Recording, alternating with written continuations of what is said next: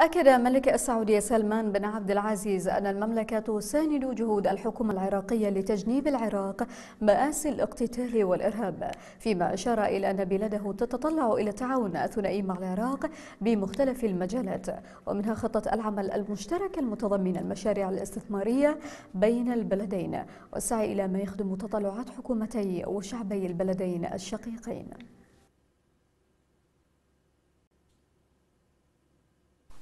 كما نقف مع العراق وشعبه الشقيق ونساعد جهود حكومته في سبيل استقراره ونمائه وحفاظه على مكانته في محيطه العربي.